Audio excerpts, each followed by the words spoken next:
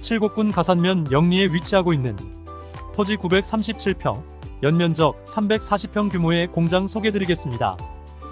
주변 일대는 중소규모의 공장 창고 등으로 형성되어 있으며 공업용 건부지로 이용 중입니다. 남측으로 폭 6m의 포장도로와 접하고 있으며 대형 차량 진출인 문제 없고요. 외관 IC까지 9.3km, 차량 약 11분 거리에 위치해 있기 때문에 접근성도 양호합니다. 소재지는 칠곡군 기산면 영리 1048번지입니다. 물건의 대략적인 경계이고요.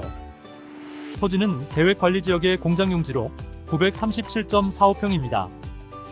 건물은 일반 철골조 샌드위치 판넬 지붕, 공장 사무실 등으로 총 3개 동으로 구성되어 있으며 340.28평입니다.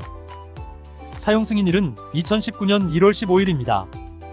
그리고 기계기구 overhead 크레인 2.8톤 4대, 5톤 한 대로 구성되어 있습니다.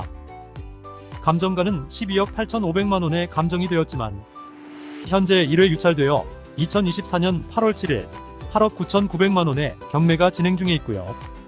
3회차는 2024년 9월 4일 6억 3천만 원에 경매가 예정되어 있습니다. 오늘 물건은 임차인 문제 없으며 권리적인 문제도 없습니다. 본건은 대구지방법원 본원에서 진행되며 토지 건물, 기계기구 포함 일괄 매각입니다. 본건 외에도 다양한 공장이 많습니다. 연락 주시면 친절하게 답변 드리겠습니다.